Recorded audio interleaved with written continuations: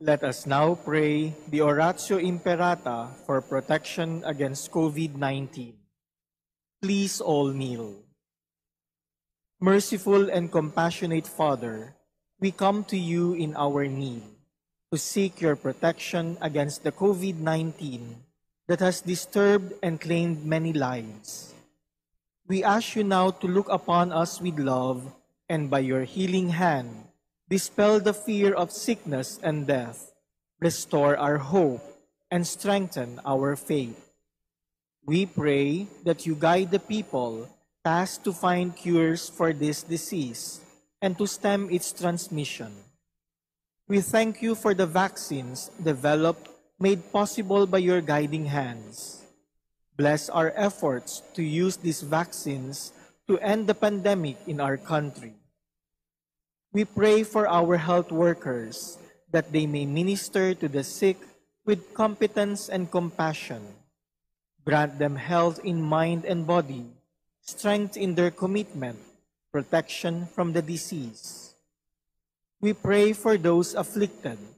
May they be restored to health. Protect those who care for them.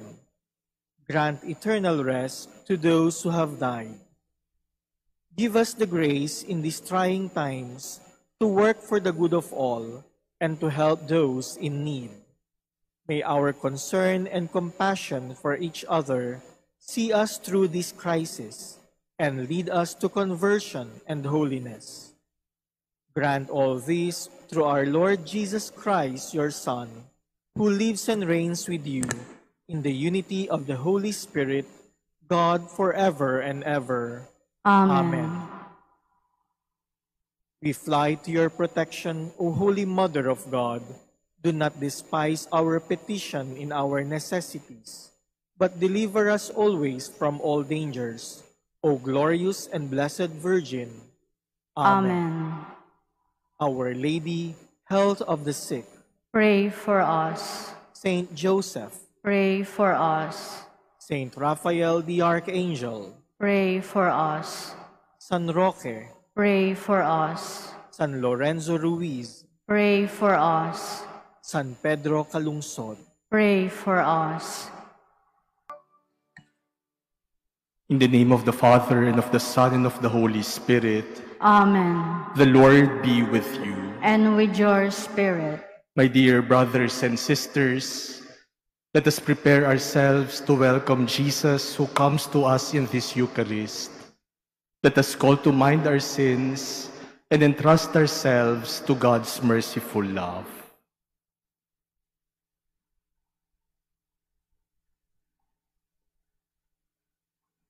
Lord Jesus, you are mighty God and Prince of Peace. Lord, have mercy. Lord, have mercy. Lord Jesus, you are Son of God and Son of Mary. Christ, have mercy. Christ, have mercy. Lord Jesus, you are Word made flesh and splendor of the Father. Lord, have mercy. Lord, have mercy. May Almighty God have mercy on us, forgive us our sins, and bring us to everlasting life. Amen. Let us pray.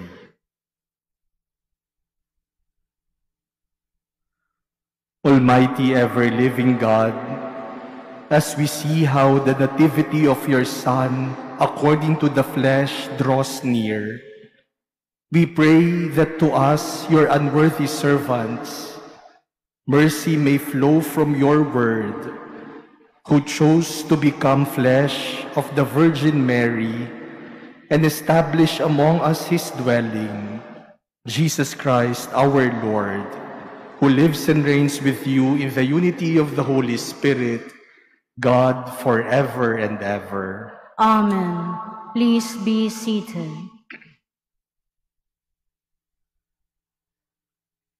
A reading from the book of the prophet Malachi.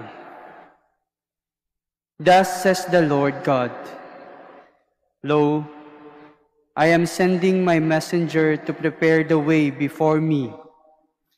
And suddenly there will come to the temple the Lord whom you seek, and the messenger of the covenant whom you desire. Yes, He is coming, says the Lord of hosts. But who will endure the day of his coming? And who can stand when he appears? For he is like the refiner's fire, or like the fuller's lye. He will sit refining and purifying silver, and he will purify the sons of Levi, refining them like gold or like silver, that they may offer due sacrifice to the Lord. Then the sacrifice of Judah and Jerusalem will please the Lord, as in the days of old, as in years gone by. Lo, I will send you Elijah the prophet before the day of the Lord comes, the great and terrible day, to turn the hearts of the fathers to their children, and the hearts of children to their fathers, lest I come and strike the land with doom. The word of the Lord. Thanks be to God. Lift up your lift up your heads and see your redemption is near at hand. Lift up your heads and see, your de- redemption is near at hand. Your ways, O Lord, make known to me. Teach me your paths, guide me in your truth, and teach me, for you are God, my Savior. Lift up your heads and see, your redemption is near at hand. Good and upright is the Lord.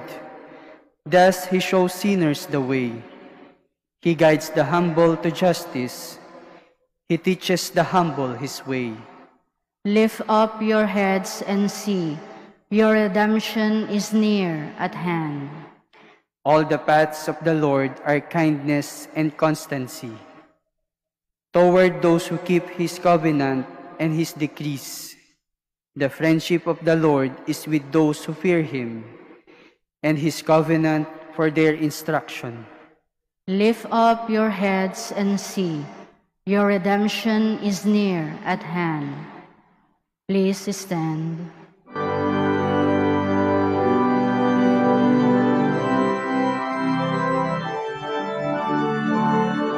Hallelujah, hallelujah, hallelujah, hallelujah, hallelujah, hallelujah, hallelujah. King of all nations and keystone of the church, come and save man, whom you formed from the dust.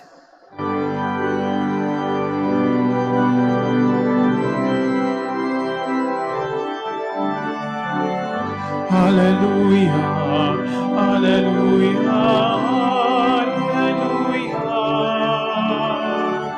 hallelujah, hallelujah,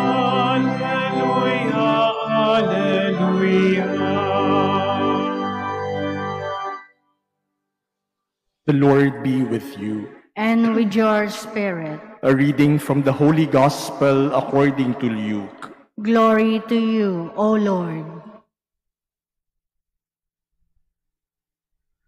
When the time arrived for Elizabeth to have her child, she gave birth to a son. Her neighbors and relatives heard that the Lord has shown his great mercy toward her, and they rejoiced with her. When they came on the eighth day to circumcise the child, they were going to call him Zechariah after his father. But his mother said in reply, No, he will be called John. But they answered her, There is no one among your relatives who has this name. So they made signs asking his father what he wished him to be called. He asked for a tablet and wrote, John is his name. And all were amazed. Immediately his mouth was opened, his tongue freed, and he spoke, blessing God. Then fear came upon all their neighbors, and all these matters were discussed throughout the hill country of Judea. All who heard these things took them to heart, saying, What then will this child be? For surely the hand of the Lord was with him.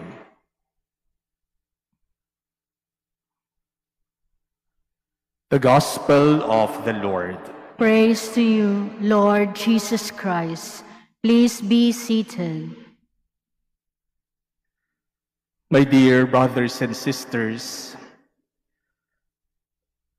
two days before Christmas, our first reading today is taken from the book of the prophet Malachi.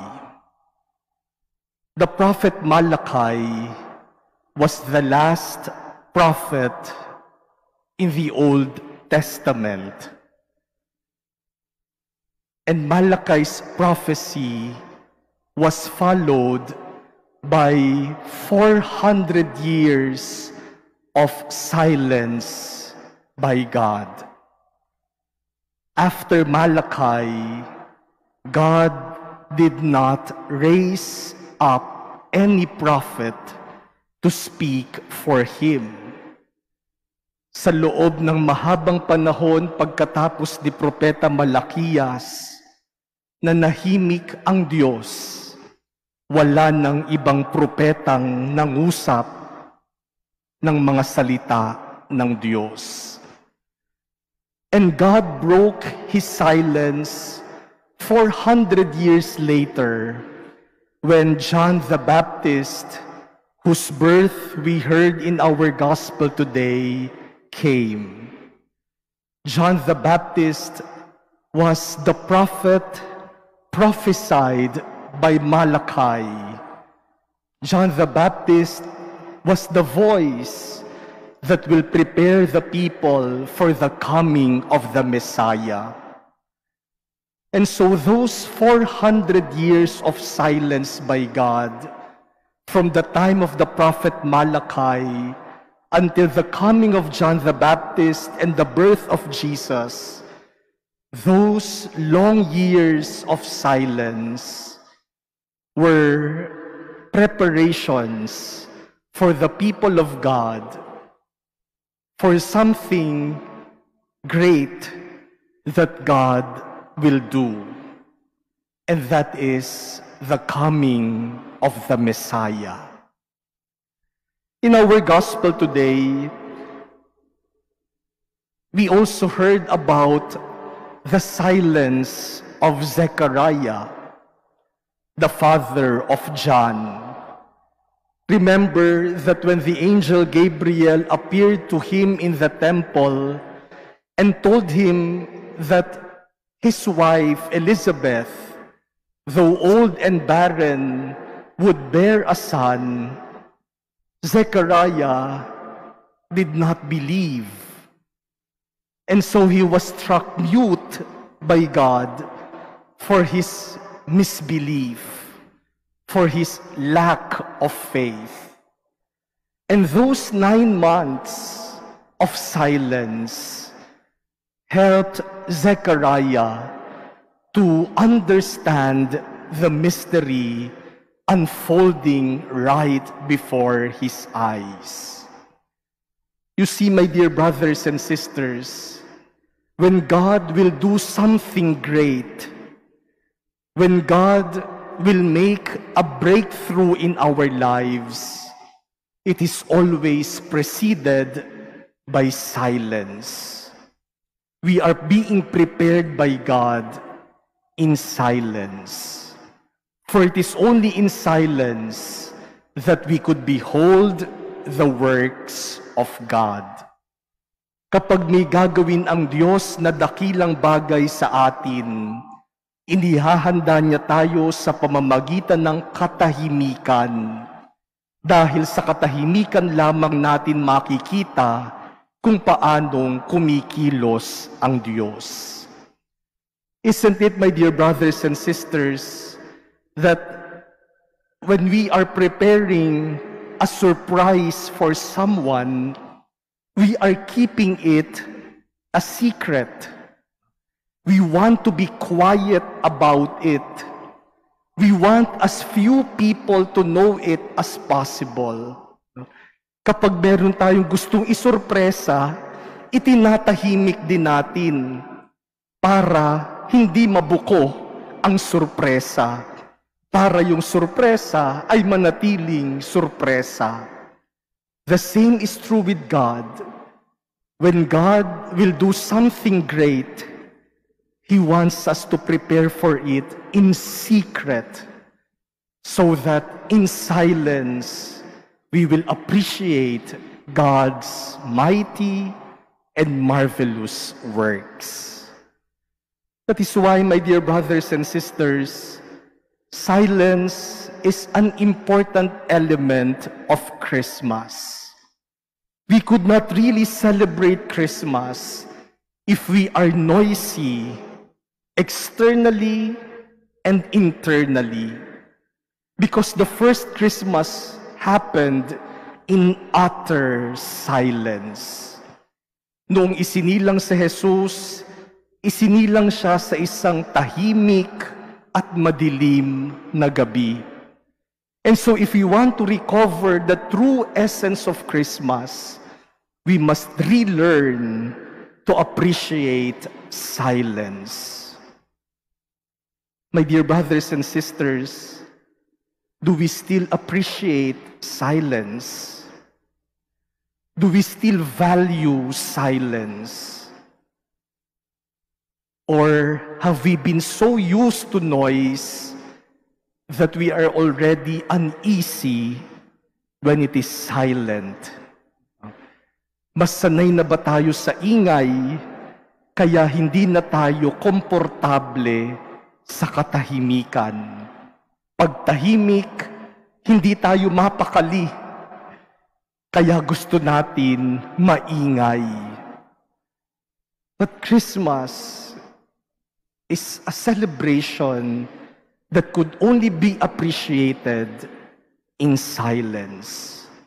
And so I invite you, my dear brothers and sisters, I even challenge you that on Christmas Day, amidst all the festivities, celebrations, partying that we will do, could we spend some moments of silence, just being silent before Jesus or before the manger of Jesus, before the Belen, Tumahimik lang tayo ng ilang sandali nang walang ginagawa, walang kinakausap, hindi titingin sa cellphone, walang pakikinggang iba, walang iisipin, walang sasabihin. Tatahimik lang sa harapan ng dakilang misteryo ng pagkakatawang tao ng Diyos. If we could do that, then we will experience what Christmas is really all about. In silence, God speaks. In silence, God makes Himself present and felt. In silence, we will see the meaning of Christmas. And in silence, we will see the surprise of God.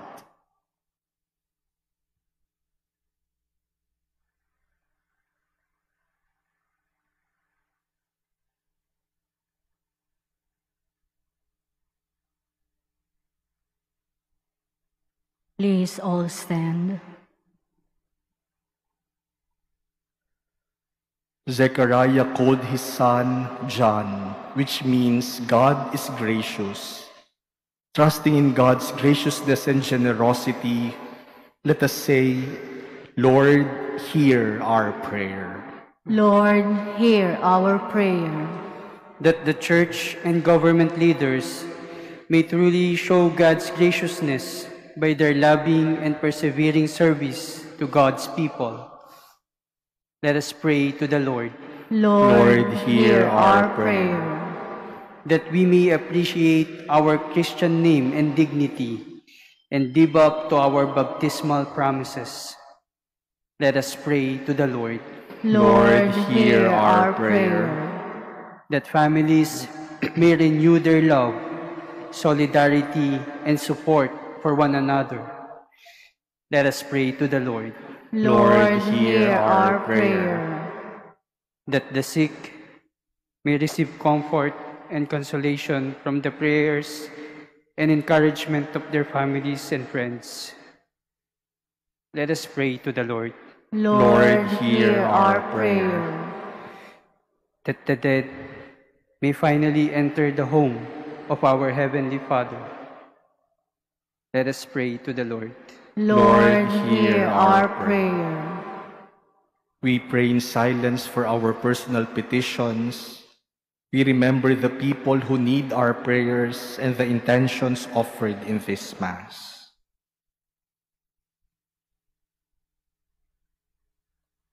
Lord God, may the life of John the Baptist inspire us to greater holiness. Fill us with His Spirit as we work in the service of your people. We ask this through Christ our Lord. Amen. Please be seated.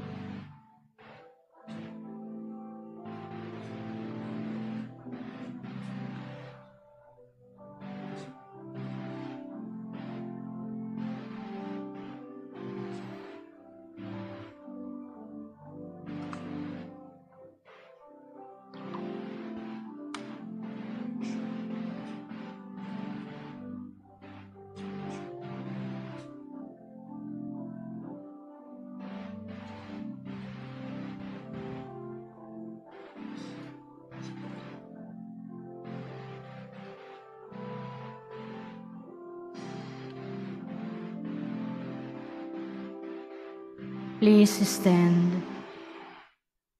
Pray, brothers and sisters, that my sacrifice and yours may become acceptable to God, the Almighty Father. May the Lord accept the sacrifice at your hands for the praise and glory of his name, for our good and the good of all his holy church. May this oblation, by which divine worship in its fullness has been inaugurated for us, be our perfect reconciliation with you, O Lord, that we may celebrate with minds made pure the nativity of our Redeemer, who lives and reigns forever and ever. Amen. The Lord be with you. And with your spirit, Lift up your hearts. we lift them up to the Lord. Let us give thanks to the Lord our God. It is right and just. It is truly right and just, our duty and our salvation, always and everywhere to give you thanks, Lord, Holy Father, Almighty and eternal God, through Christ our Lord. For all the oracles of the prophets foretold him, the Virgin Mother longed for him with love beyond all telling. John the Baptist sang of his coming and proclaimed his presence when he came. It is by his gift that already we rejoice at the mystery of his nativity, so that he may find us watchful in prayer and exultant in his praise. And so with angels and archangels, with thrones and dominions, and with all the hosts and powers of heaven, we sing the hymn of your glory as without end we acclaim. Holy, holy, holy Lord, God of hosts, heaven and earth are full of your glory. Hosanna in the highest. Blessed is he who comes in the name of the Lord. Hosanna in the highest. Please kneel. You are indeed holy, O Lord, the fount of all holiness. Make holy, therefore, these gifts, we pray, by sending down your Spirit upon them like the dewfall, so that they may become for us the body and blood of our Lord Jesus Christ. At the time he was betrayed and entered willingly into his passion, he took bread and giving thanks broke it and gave it to his disciples, saying, Take this, all of you, and eat of it, for this is my body, which will be given up for you.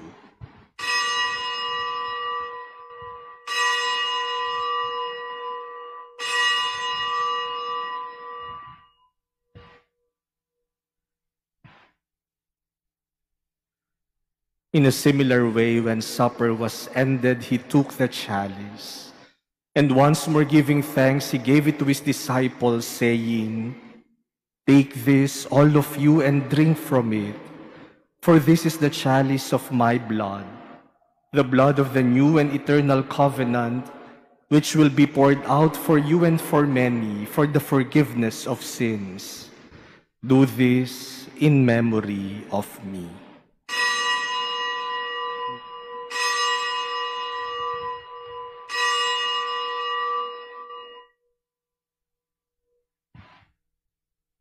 Please stand. The mystery of faith. When we eat this bread and drink this cup, we proclaim your death, O Lord, until you come again. Therefore, as we celebrate the memorial of his death and resurrection, we offer you, Lord, the bread of life and the chalice of salvation, giving thanks that you have held us worthy to be in your presence and minister to you. Humbly we pray that partaking of the body and blood of Christ, we may be gathered into one by the Holy Spirit. Remember, Lord, your church spread throughout the world and bring her to the fullness of charity, together with Francis, our Pope, and Jose, our Bishop, and all the clergy. Remember also our brothers and sisters who have fallen asleep in the hope of the resurrection, and all who have died in your mercy. Welcome them into the light of your face. Have mercy on us all, we pray, that with the Blessed Virgin Mary, Mother of God, with Blessed Joseph, her spouse, with the blessed apostles and all the saints who have pleased you throughout the ages, we may merit to be co-heirs to eternal life and may praise and glorify you through your Son, Jesus Christ. Through him and with him and in him, O God Almighty Father, in the unity of the Holy Spirit, all glory and honor is yours forever and ever. Amen. With longing for the coming of God's kingdom, let us now pray as Jesus taught us. Our, Our Father, who art in heaven, hallowed be thy name. Thy kingdom come, thy will be done on earth as it is in heaven. Give us this day our daily bread, and forgive us our trespasses, as we forgive those who trespass against us. And lead us not into temptation, but deliver us from evil. Deliver us, Lord, we pray, from every evil. Graciously grant peace in our days, that by the help of your mercy we may be always free from sin and safe from all distress, as we await the blessed hope and the coming of our Savior, Jesus Christ. For the kingdom, the power, and the glory are yours, now and forever. Lord Jesus Christ, who said to your apostles, Peace I leave you, my peace I give you. Look not on our sins, but on the faith of your church, and graciously grant her peace and unity in accordance with your will, who live and reign forever and ever. Amen. The peace of the Lord be with you always. And with your spirit. Let us offer each other the sign of peace.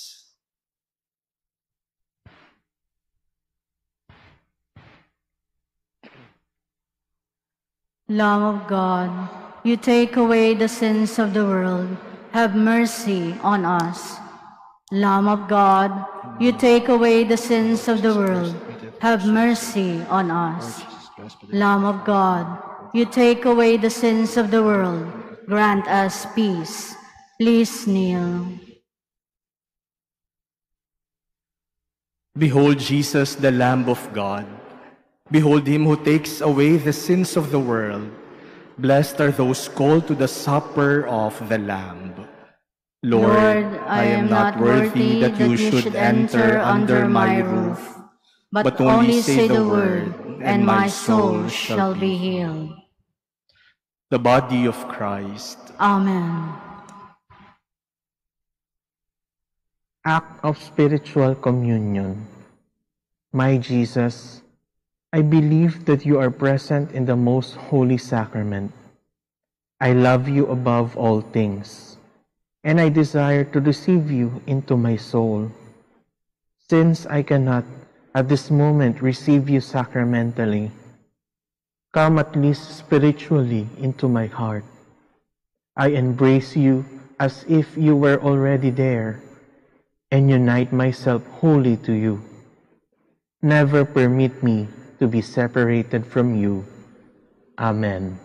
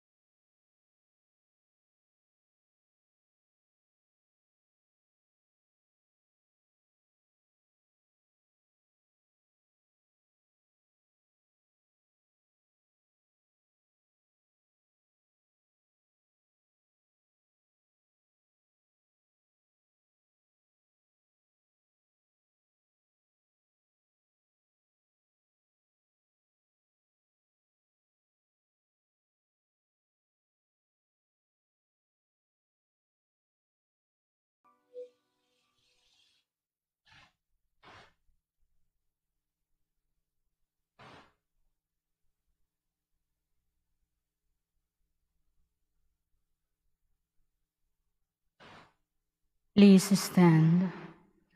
Let us pray.